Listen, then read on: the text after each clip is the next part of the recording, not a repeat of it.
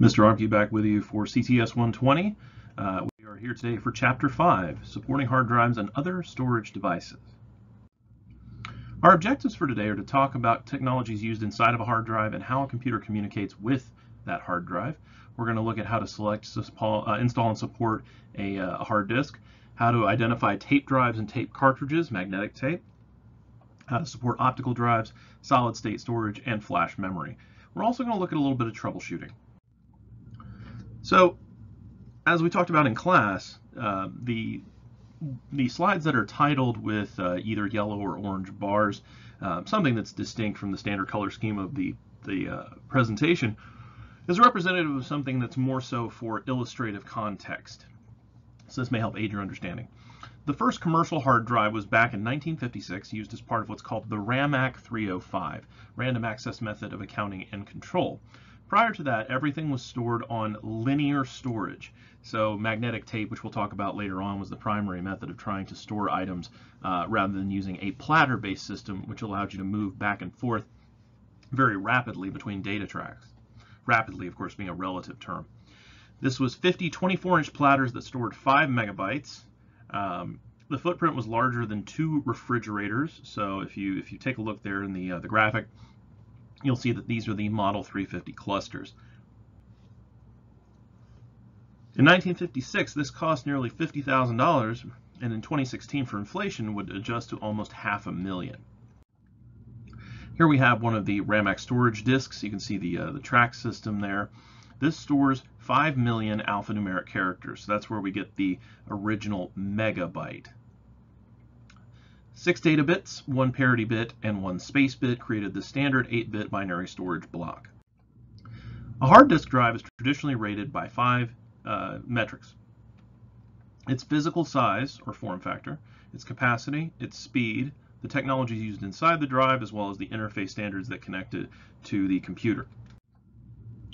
Two types of hardware technologies that are used inside of most drives now are magnetic and solid state. Magnetic drives have multiple platters stacked together spinning in unison inside of a sealed metal housing. The firmware on the logic control board controls the data read, write, and motherboard communication. The read-write heads are controlled by a, uh, a, magnetic actuator that pivots an arm back and forth. Data is organized in concentric circles called tracks and these tracks are perpendicularly divided into segments called sectors. Most current drives use sectors that are about 4 kilobytes in size. Form factors for internal magnetic hard drives tend to be 3.5 inches for desktops and 2.5 inches for laptops.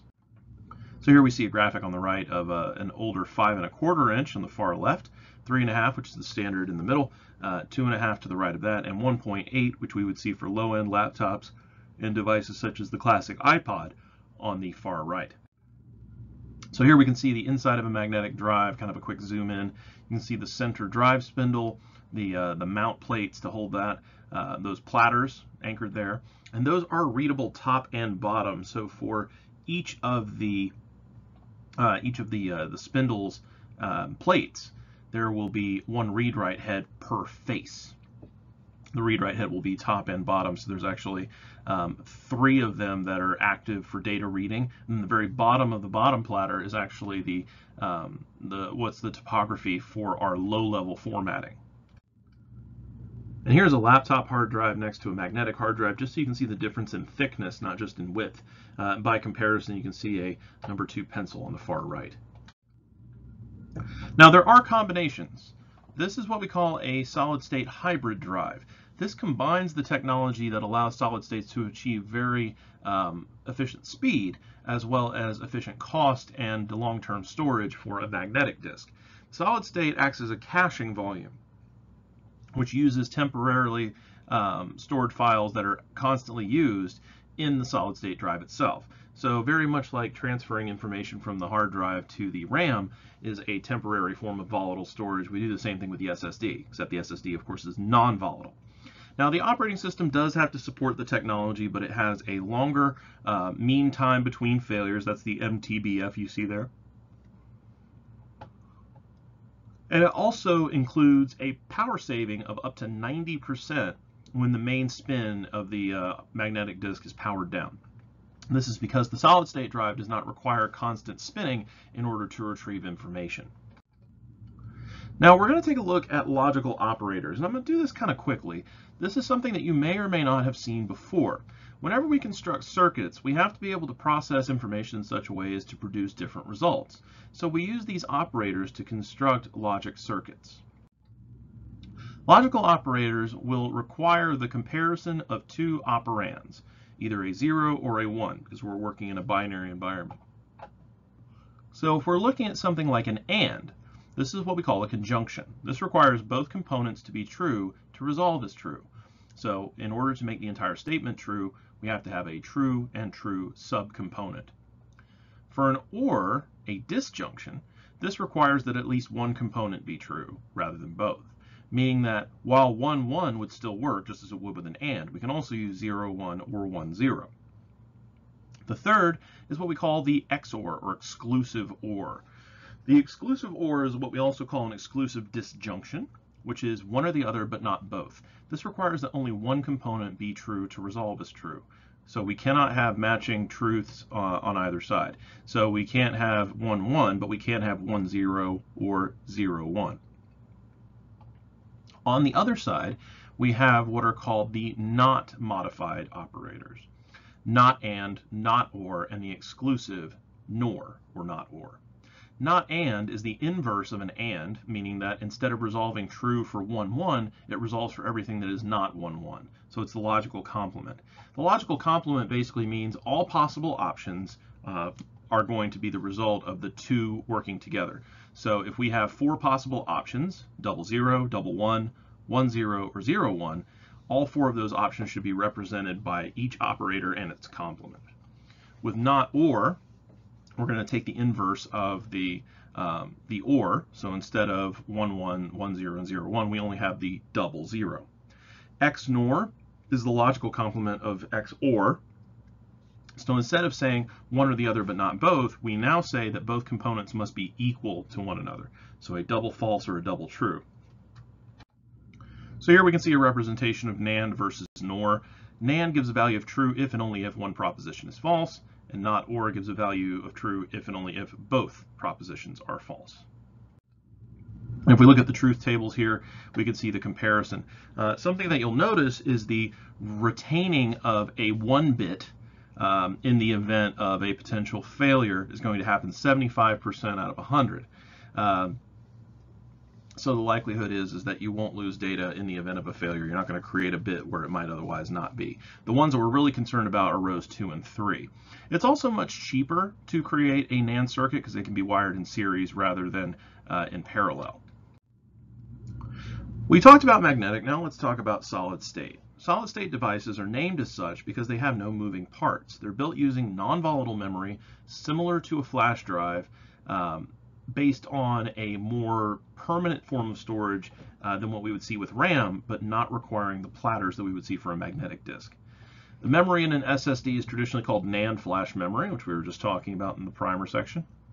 The lifespan of these drives is based on the number of write operations performed. This is expressed as terabytes written, or TBW, or DWPD, drive writes per day. Drive writes per day tends to be a little bit more of an average, whereas terabytes written uh, gives us more of an actual lifespan.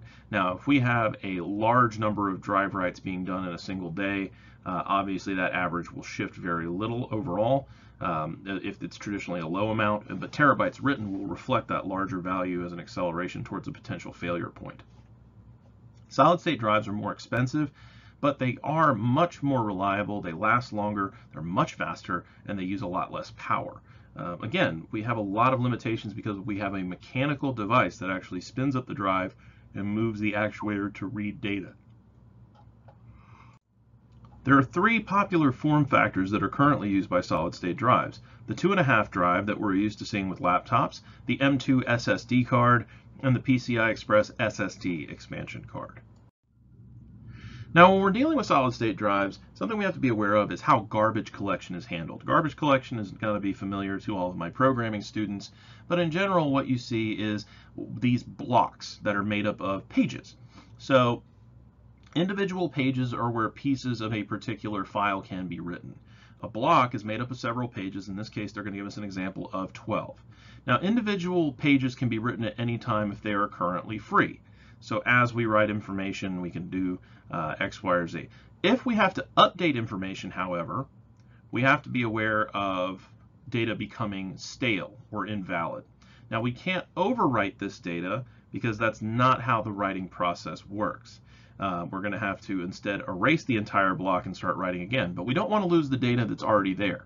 So if we have A through D, it goes stale. We now have the um, A through D updated versions as well as E through H, secondary block. We're now going to have to copy that from block X to block Y and then erase block X to make it free for writing again. So that process means that the write operations are going to cause an electrical pulse to have to be read through the entire block of information. These blocks uh, and pages thereof are made of the intersections of capacitors. There's a logic gate formed at the intersection of these capacitors. They lose their ability to retain a solid 1 or 0 value over time, attenuating to somewhere around 0.25 to 0.4. Uh, so it wouldn't exactly register a full uh, 1 or 0. So eventually you have what's called bit rot, where you lose the ability to maintain a consistent differentiation between a 0 and a 1. Now, don't panic, because current tests project over 750 terabytes uh, of information being presentable. So if you actually open this up in your lecture slides, you'll be able to uh, click on this orange link where it says current tests. It's a uh, listing from techreport.com that shows the SSD endurance experiment. Um, 750 trillion write operations is what most will currently run at. Some have exceeded 2 petabytes, which is a quadrillion write operations.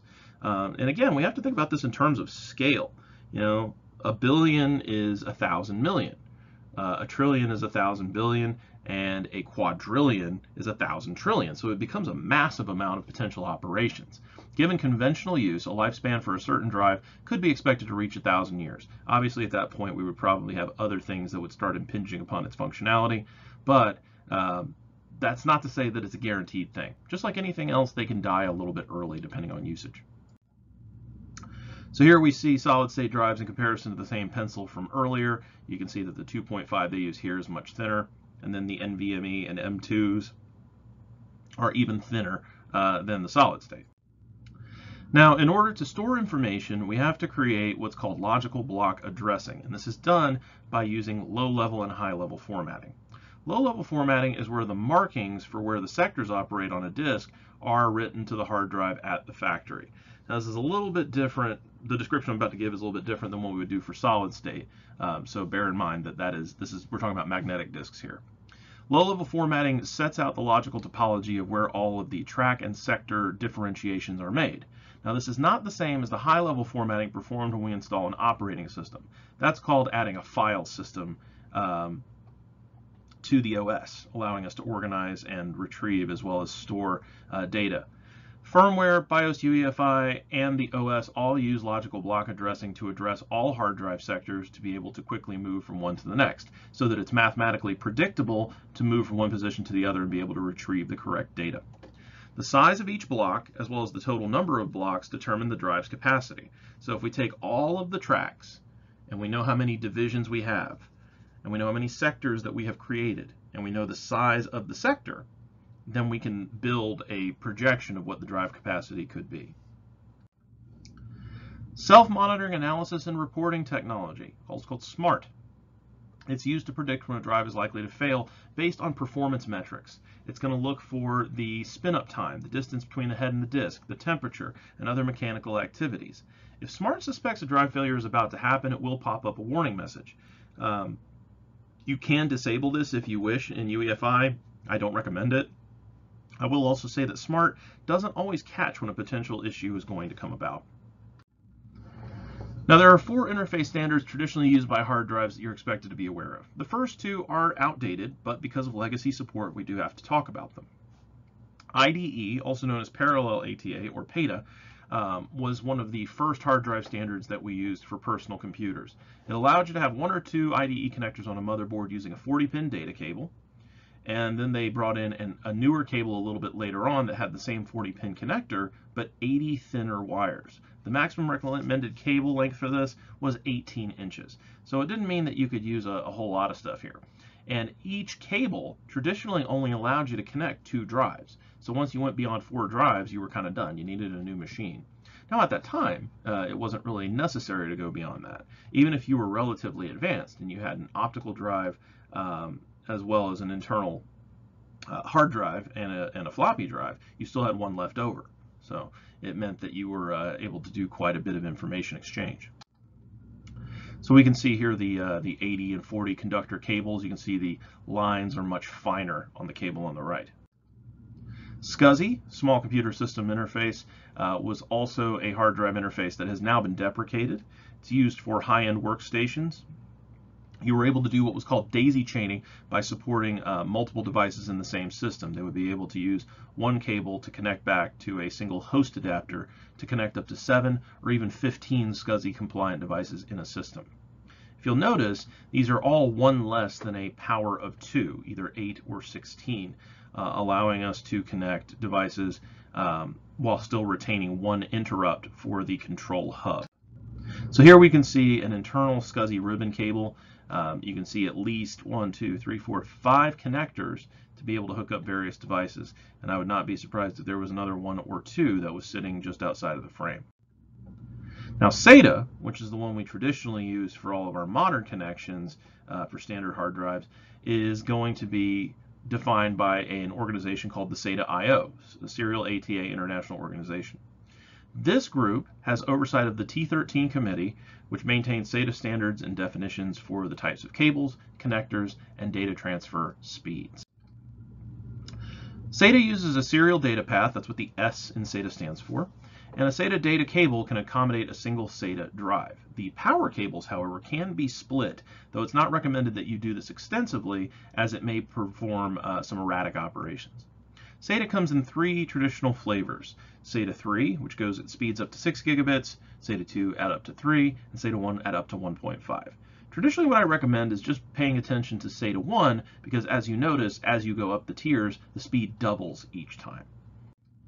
SATA standards are used by all drive types, so that it can be uh, optical drives, even there's some um, kind of hybridish uh, floppy drives that I saw come out very near the uh, the end of the lifespan, and I'm sure there have been some that are a little bit retro to try and convert older materials. Um, there are also drive bays, things like that. SATA standards support what's called hot swapping or hot plugging. This is where you can connect or disconnect a drive while a system is running. Now, I don't recommend doing this with your Windows drive, but you can certainly do it with a um, device that's giving you a problem. So let's say you have an optical drive that's uh, getting jammed. Well, if you were to unplug it and replug it, it might reset the internal drive motors and allow you to open the tray rather than having to use the uh, the old close uh, not clothespin the old uh, paper clip trick. There's usually a little hole just below the tray that allows you to pop the drive open manually. So you connect to one internal SATA connector on the motherboard via a 7 pin data cable and a 15 pin SATA power connector to the power supply. Now a motherboard may have two four or even six SATA connectors. Some of the more extensive ones will have uh, eight or 10. I haven't seen 10 on a motherboard in quite some time that wasn't built for a server. Um, I actually have a system at home where I have a controller card that I bought that has uh, an additional four ports. Now they recommend that you use connectors in the order recommended in the motherboard's user guide, um, but again, a lot of the time, just due to the nature of SATA standards, they're pretty stable regardless of what order you put them in. Now here again is the, uh, the table that refers to the different data speeds. Uh, so as of revision 3, as I said, we're up to 6 gigabits per second. Here we can see a SATA cable connected to a motherboard uh, via the, uh, the yellow connector we see there connecting to the uh, hard drive. And here we can see a comparison between the data and power cables. If you look closely, you can see that there's a little vertical notch.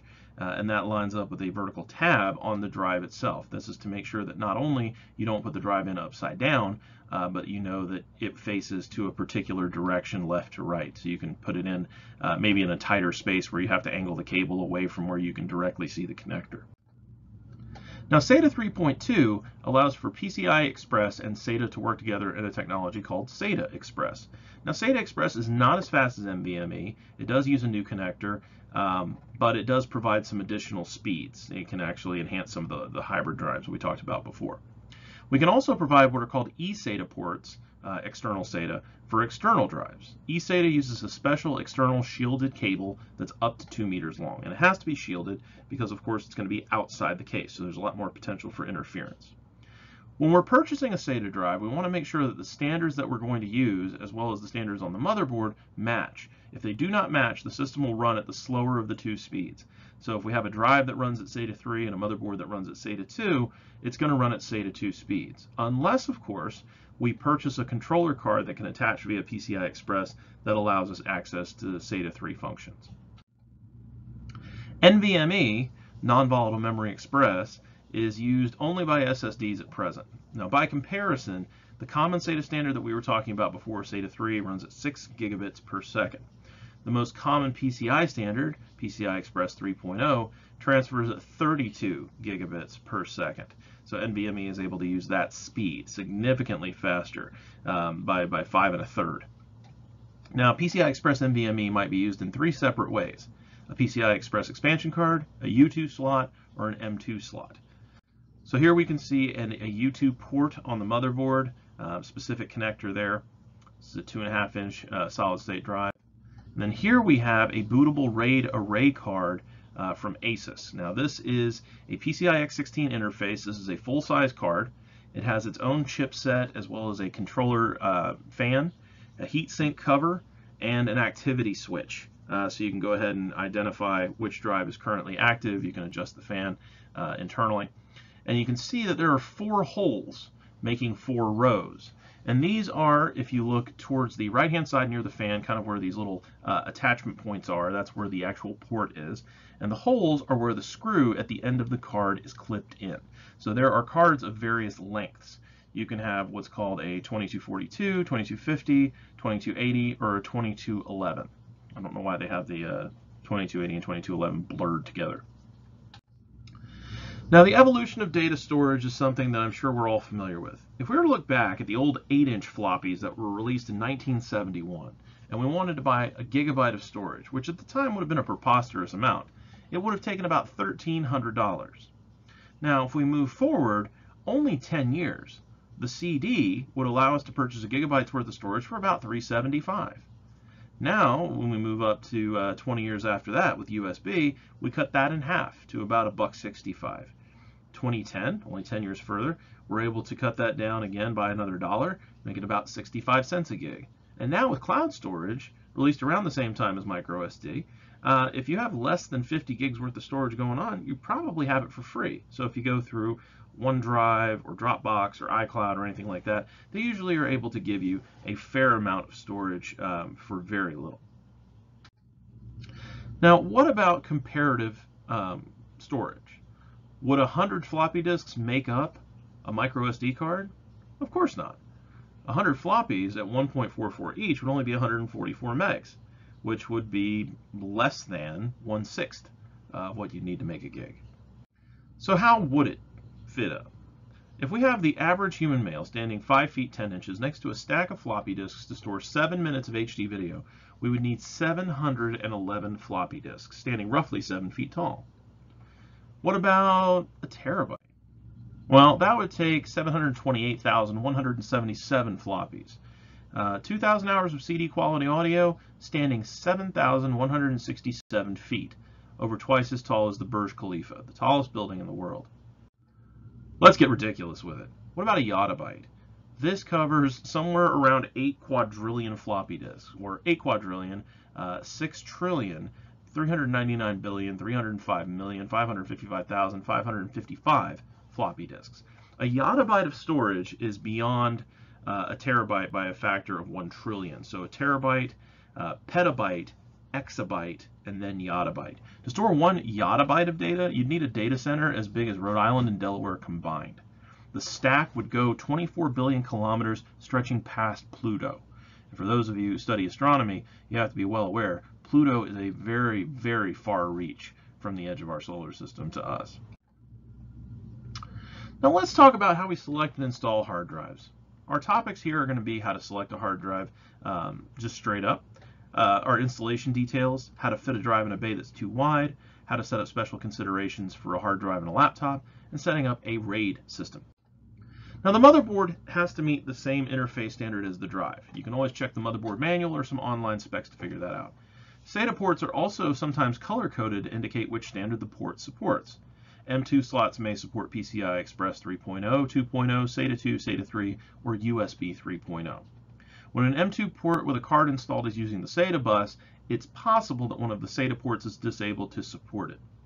NVMe expansion cards most likely will use a PCI Express X4 version 3 slot.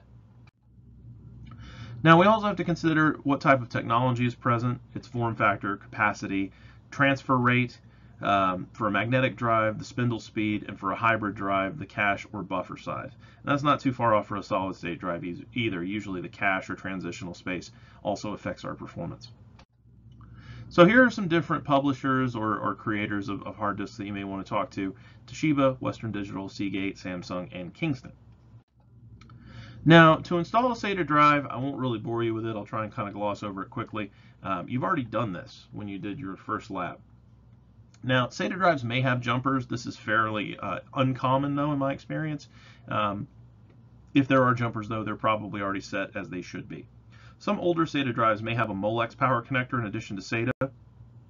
Only use one. If you use both at the same time, it'll cook the drive. So here we can see our, our, our, lineups there. So we can see the jumper block on the far right, SATA data to the left of that, and SATA power to the left of that. Now, of course, we need to follow our steps. Um, you know, when we're doing troubleshooting, anything like that, we need to have our, our planning. So let's go ahead and establish some steps for a hard drive. Step one, as best you can, protect the data. Back up what you can and verify you can access it. Step two, know your starting point. Is everything working? If you're starting with a system that already has issues, you're going to have a much longer road ahead than if everything's working and all you're doing is swapping out a hard drive or adding one to an existing system. Step three, read your documentation and prep your work area.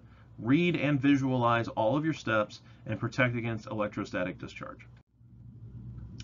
Also make sure that you're handling the drive as well as the interface controls carefully. You know, don't touch any exposed circuitry on the motherboard or on the drive itself. Prevent other people from touching any exposed microchips. Make sure you stay grounded. Use an anti-static bracelet where possible. If you do have to place the drive down, make sure you place it component side up. Do not place the drive on the computer case or on a metal table. Anything that could cause conduction that could cause a short. Step four, of course, is to install the drive. Once the computer is shut down, make sure you drain it uh, select which bay is going to hold the drive, slide it in place and secure it. We'll talk about how to make sure that we can secure it effectively in just a moment when the drive is slightly smaller than the bay in which you wish to place it. Correct motherboard SATA connector will need to be attached. Um, a 5, 15 pin SATA power or 4 pin Molex power will need to be connected. And then go ahead and make sure that all your connections and cable management are uh, properly handled. Once that happens, go ahead and power up the system and verify the drive is recognized by your firmware. Here we can see the, uh, the data cable is already connected on our SATA drive. Now we just have to go ahead and put the power cord into place. So here we see a UEFI setup screen showing a SATA hard drive and DVD drive installed. Now we're ready to boot the hard drive for the first time. If we're using it to install Windows, we're going to go ahead and boot from our media. So if it's network or if it's an optical drive disk or if it's a USB, we're going to need to go ahead and follow the on-screen instructions once we've set up our boot order. If we're installing the second drive as a Windows supplement and there's already an operating system present, go ahead and use the internal disk management utilities to partition and format the second drive. If you're dealing with a removable bay, you're going to uh, pay attention to taking apart the cage by disconnecting its fan, unlocking the pins, sliding it out, inserting the hard drive, anchoring it, and then reversing your steps. If you have a wide bay, you're going to use what's called a universal bay kit or adapter. So here we can see some side brackets that will allow us to fit a drive, in this case a 3.5, uh, into a 5-inch bay. Or if we had a 2.5, maybe we'd use a, a, slightly larger piece of metal, slightly wider bracket, in order to fit it in uh, to a 3.5 inch bay. Has been known to happen. So you always want to make sure that you are um, not leaving a huge gap because then you will not be supporting the drive correctly and there is possibility that it will slip or otherwise damage it. Um, so you want to make sure that the side brackets connect to the drive and that the other side of said side brackets connect to the mounting bay for your, uh, your computer tower. Now, if we're installing an SSD, we need to make sure that the board supports the type of card that we have. Measure the length of the card, decide which screw hole the uh, card is going to go into. Go ahead and install your standoff so that it lines up correctly. Make sure you slide the card straight into the slot, but not from an upward angle. Uh, anything that sits parallel to the motherboard like that is going to be uh, a temptation to try and angle it in. You don't want to do that because that can damage the connectors. Once the card is slotted, go ahead and install your screw and then make sure that your M2 card is recognized by firmware. Some other guidelines, uh, be aware of manufacturer documentation for drive sizes, form factors, and connector types. Um, that's true for desktops as well as laptops. Make sure that you're aware of voiding any manufacturer warranty. Um, if you're not Service Center certified, always make the call first. If the old drive has crashed, you'll probably need some recovery media to get Windows back up and running, as well as the drivers. If you're moving from a low capacity drive to a higher capacity one, and most laptops only have one hard drive, you're going to need to consider how you're going to move uh, data from the old drive to the new one. Um, some people will go ahead and install um, a, a, what's called an on-the-go cable, OTG cable, uh, in order to transfer from one laptop to another without taking the drives out. Some people will use a, a USB to SATA cable, which they do sell. Rosewill is probably my favorite brand for that. When you're shopping for a laptop drive, make sure we know what not only width but thickness we are going to need. There are some uh, ultra thin SSHDs out there, especially from Seagate. Um, they have some some standard ultra thins. You know, the uh, brand I think they use is crystal called Momentus, um, and those will kind of flop about if there's not a pad in place. So make sure you pay attention to what it recommends you use.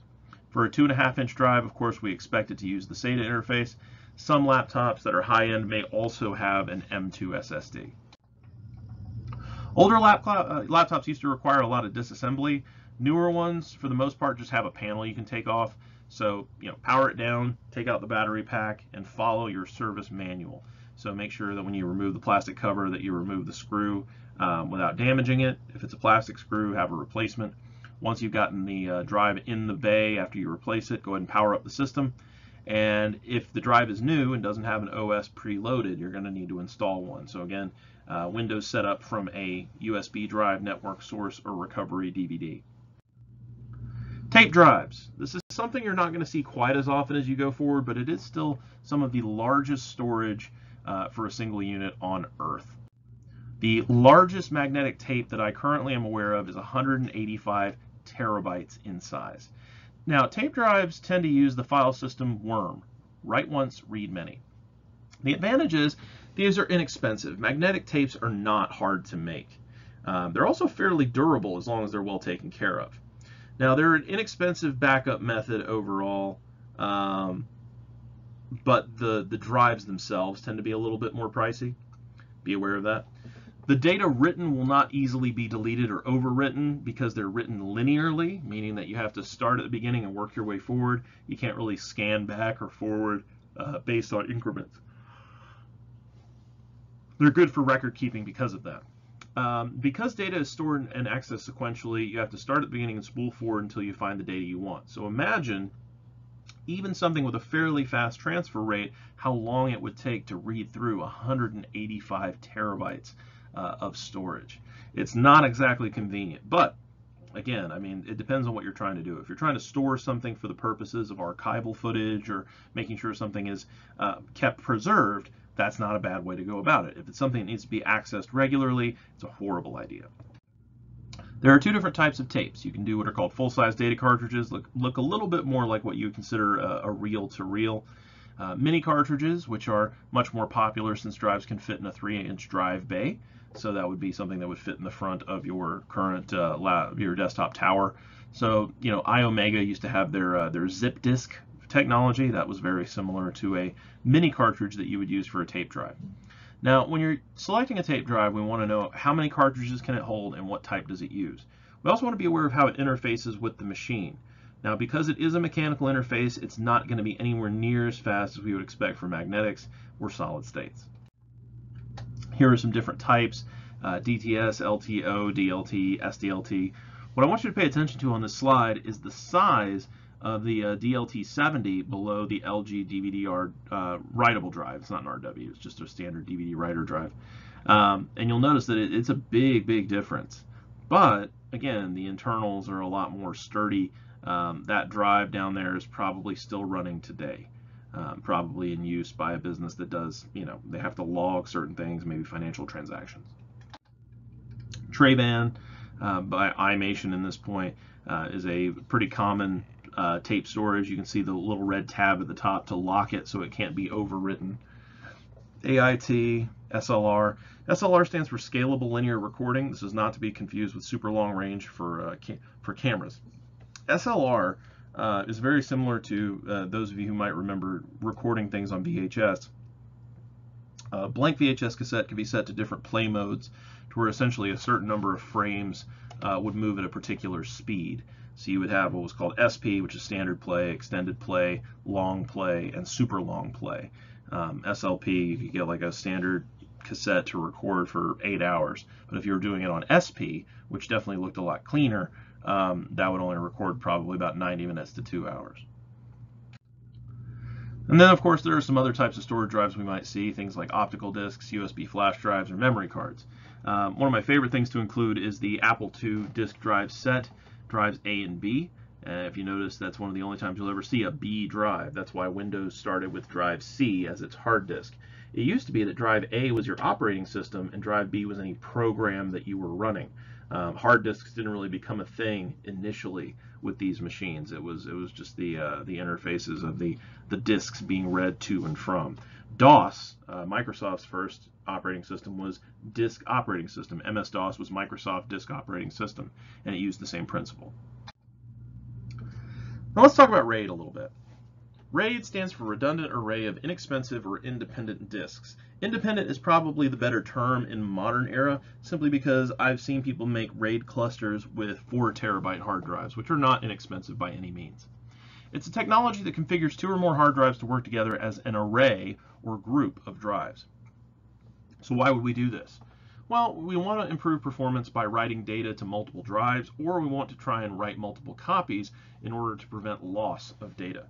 Now, if you go on to a lot of different forums online, of course, there's a joke about how RAID is not a backup. And it's true, it's not, because it's local. Backups should be taken off-site in order to eliminate the possibility of the backup failing uh, due to a fire or something that would destroy both uh, drives in a RAID cluster if there was a, uh, a RAID 1 that was set up for mirroring. So let's talk about some different types of RAID. First one is going to be spanning, sometimes called JBOD. JBOD stands for just a bunch of disks. We take two hard drives and we join them together head to tail in order to hold a single Windows volume together. When one drive fills up, the data starts being written to the second drive. RAID 0 is going to use two or more disks in order to write uh, data evenly across the disks so that no one disk receives all of the activity. This is what we call striping. So let's say we have 100 kilobits of data that we have to write. If we have two disks, depending on the size of the stripe, let's say we do it as, you know, 32. We do 32 kilobits here, 32 kilobits there, and we bounce back and forth until we fill it all up. So no one drive does the majority of the data. Each of them gets around 500 kilobits of writing at that time. Mirroring RAID 1 is going to duplicate one drive uh, to another. So the data is written to drive 1, it's written to drive 2. RAID 5 uses three or more drives to stripe data and use what's called parity checking. So parity checking, if you'll remember from RAM, basically includes a bit or sequence of bits in order to verify the information on the two other drives in question. And data is not duplicated at this point. It's just um, for reduction of uh, wear and tear. RAID 1.0 um, sometimes written to look like RAID 10. It is not RAID 10, so be careful that you don't fall into that trap. It's a combination of mirroring and striping. It takes at least four disks, and data is mirrored across pairs. So let's look at this graphically. So we can see here with JBOD, we have the kind of uh, you know head to tail thing there. RAID 0, we can see the striping kind of moving across one to the other so that we're distributing the load. RAID 1, we can see the duplication. And RAID 5, we can see the parity check moving across the layers. Now RAID 1 and RAID 0, we can see kind of a combination here. we've got two pairs of mirrored disks. So in this case, instead of having um, what we would say is like A1 and A2 mirroring each other and B1 and B2 mirroring each other, what we're going to do is distribute A1 and A2 as a striped cluster and then mirror A1 and A2 onto B1 and B2. Now, hardware RAID is considered the best. There's a lot of potential leaks and inconsistencies that can come about with software-based RAID. Um, RAID-enabled motherboards have to be present, so you have to make sure that you have a RAID-compatible system and that that mode is enabled in firmware. If not, you can get a RAID controller card if you don't have it on your motherboard directly. For best performance, all hard drives in an array should be identical in brand, size, speed, and other features. It just makes it more efficient. If Windows is going to be installed in a RAID system, we have to make sure that RAID is implemented before Windows is installed. Now, general directions to install a RAID 5 array using three matching SATA drives are shown below. Um, you guys did it in lab, so it's not something I'm necessarily going to bother you about in here. Um, but the idea is, is just like when you deal with uh, getting into UEFI, you're going to press Control I repeatedly to get in as opposed to F2 or F12 or delete or whatever key you've got there. Uh, sometimes the timer is very, very short, so you're going to want to make sure that you're spamming that key combination as soon as it starts to boot. Here we can see the uh, graphical representation of a RAID creation going on and the confirmation thereof. Now sometimes hard drives can be stored in external enclosures uh, and rather than joining them together, we just make them available as a network resource. So this is what's called a NAS, or network attached storage. This is going to enclose several hard drives together and use an internal controller card to make them available over a network to all computers on said network that have the right permissions. So this is a Synology DS1511 Plus, has uh, five drive bays in it, and can connect to uh, two LANs. Now there is an alternative to a storage like this called a SAN, which is a storage area network, but this is built on structured data rather than on the unstructured data more like media. When I say structured data, I mean that every record is the same size. It's great for things like databases. Now, for external enclosures, we have to be aware that your firmware, of course, has to support um, whatever type of drive you're dealing with. Uh, you may have RAID support, you may not. So if you wish to use RAID with a drive enclosure, you want to make sure you check that ahead of time. If you're going to replace a hard drive in an enclosure, you should always check the documentation. Be aware that you're not violating the, uh, the warranty or not. If a computer case is overheating due to the drives that are present, you can always move some drives from the case to an external enclosure. Now, you don't want to do this with the drive that contains your Windows installation because traditionally a uh, USB connection or something similar for your enclosure is not going to be as fast as a standard SATA connection. You can also purchase a SATA controller card that provides external connectors or additional connectors, which is what I did. Now let's look at some other types of storage devices, optical disks, flash drives, and memory cards. So in order to manage data stored on a device, we implement what's called a file system. This is our overall structure that we use to name, store, and organize files through the operating system. In Windows, each storage device or group of devices, if we go through RAID, is assigned a drive letter and is called a volume. This process of adding a file system is called high-level formatting. So it's a callback to our low-level formatting we talked about with uh, the physical of the magnetic disk. Some different types of file systems you might see, NTFS, exFAT, FAT32, and standard FAT, FAT standing for File Allocation Table. CDFS and UDF are going to be used for our disks, compact disk file system, and universal disk format. Now, Blu-ray discs um, also use this uh, universal disc format. It's just a slightly newer version. So here we can see a 16 gig flash drive using FAT32. That is very common for portable flash storage. Compact discs, DVDs, and Blu-rays use similar laser technologies. What changes is the uh, what's called the pitch of the laser.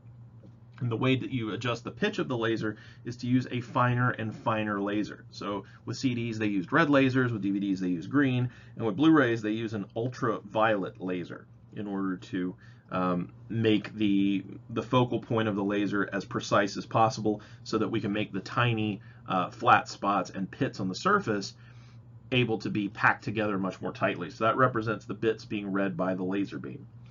With an optical disc, data can be written to one side of a CD, one or both sides of a DVD or Blu-ray, and DVDs and Blu-rays can hold multiple layers on each side. DVD can only hold two, uh, but Blu-ray, I believe they've gotten up to four. So here we can see a table that shows uh, some various storage capacities. Um, if you have curiosity about how to fill out that table for Lab 5, this is a handy one to look at, figure 547.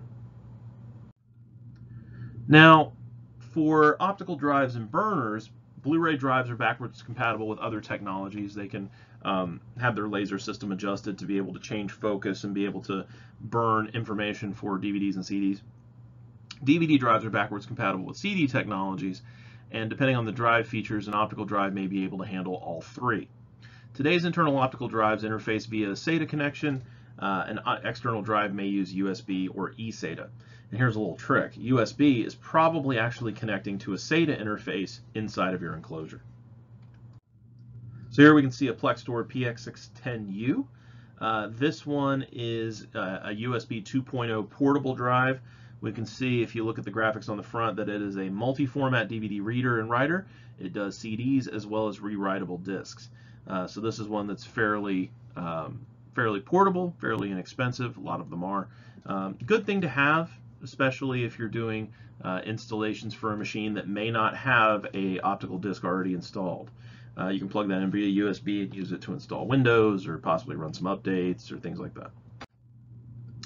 Now, optical discs work by basically having places that are considered to be flat and reflective, or places that are considered uh, less flat, maybe you have like a little pit uh, that will catch a particular the substrate will actually catch the stylus or the laser or whatever is that's trying to read the signal. So we can see here in the uh, graphic on the right that the laser, if it hits a flat spot, is going to read back a zero, meaning that the sensor is going to indicate that there is a, a zero present. We've got a continuity between one and zero. The pit is basically going to say the sensor is not catching, uh, so we're going to treat that as a one. There's the presence of a, a dent uh, or a, uh, a pit. So just like a gramophone, just like a, um, a, a, vinyl record, you know, an 88 or uh, whatever you got, um, moving up to now we have CDs, DVDs, and Blu-rays, there's going to be this um, reading of ridges and, and, and valleys. Now, multi-layer discs operate on the principle of a semi-transparent metal film. Um, you know, the first CDs used an aluminum alloy, uh, started using a semi-transparent gold alloy, and then we can see um, different types of reflector and semi-transparent reflectors, um, how we can do what's called BDXL, which is a four-layer Blu-ray disc.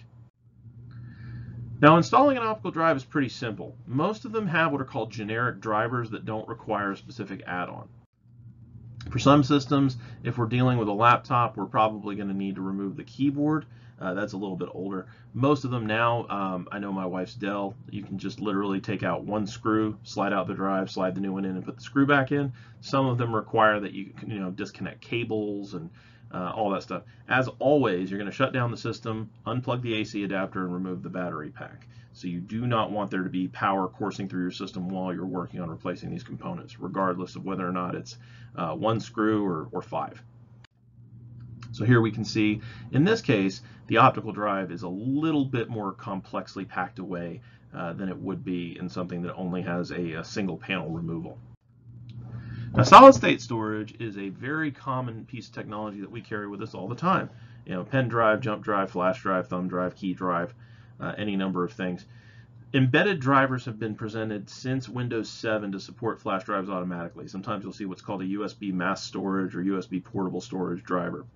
Memory cards are very similar, except instead of having a direct USB interface to the computer, they go through some kind of intermediary device, um, such as a reader, or they might be in the actual device they use to record information, so the digital camera, smartphone, etc. Secure Digital, SD, is a uh, the most common memory card standard right now, and there are three substandards for each. Version 1 is regular, version 2 is high capacity, and version 3 is extended capacity. Um, and they're backwards compatible, so that means that an extended capacity can work in a high capacity slot or a regular, um, et cetera, et cetera. Now you can't do them forwards to where you can't use an extended capacity in a regular slot. The standard uh, secure digital as well as the high capacity use the FAT file system extended capacity uses the exFAT file system. Uh, that's part of how they organize things to use the same physical space to store more information.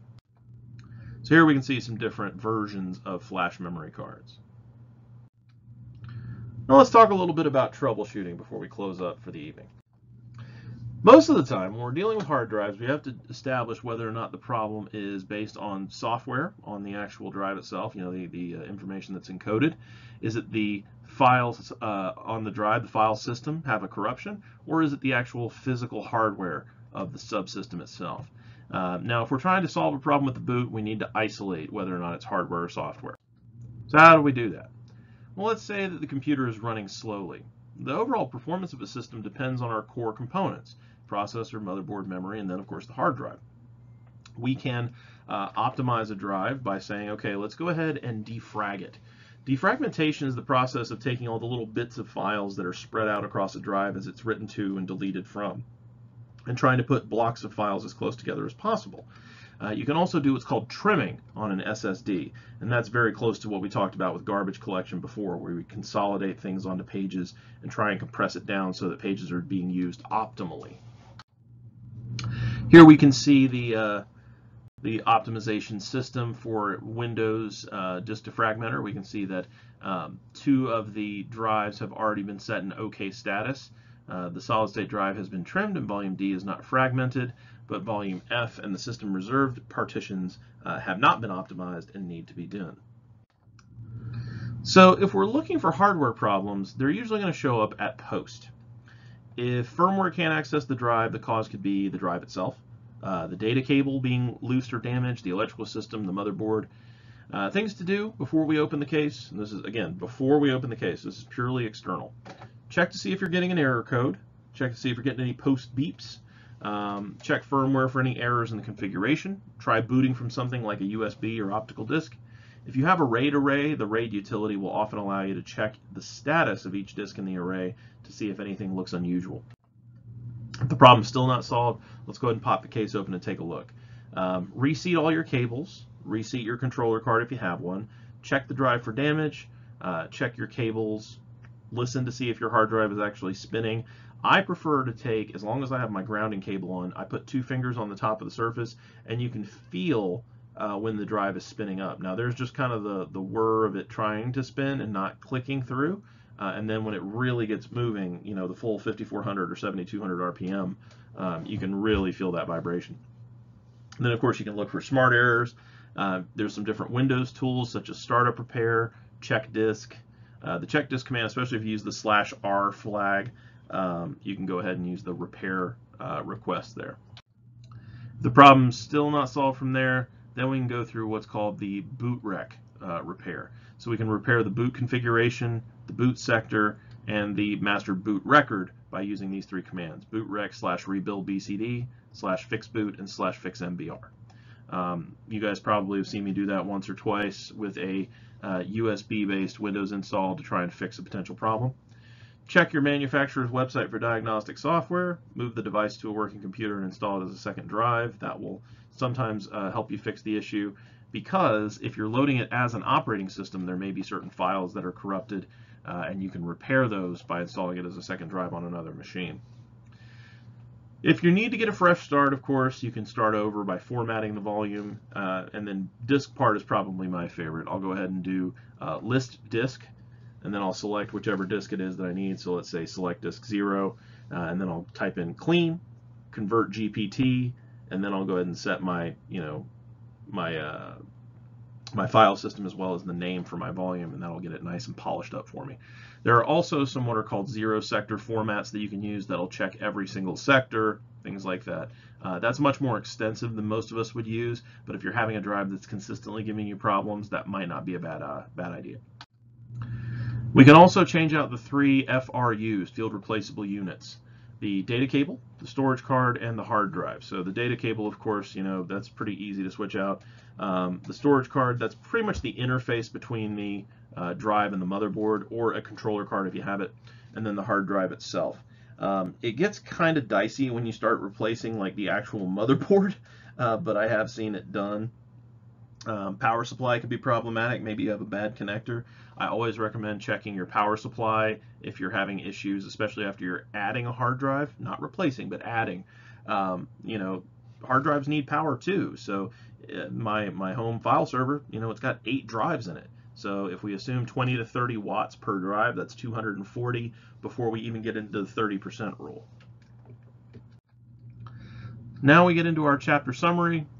I obviously won't insult you by reading it to you, but it is a convenient way to go over the content of the chapter very, very quickly, especially because it's kind of in order. So if you see a topic you need to jump back to, you can do so. Uh, so of course, if you have any questions or concerns, you can always contact me via email at jearmke063 at cfcc.edu, or you can uh, give me a text at my Google Voice number 2397814. Other than that, I hope you have a wonderful rest of your day, and I will see you next class.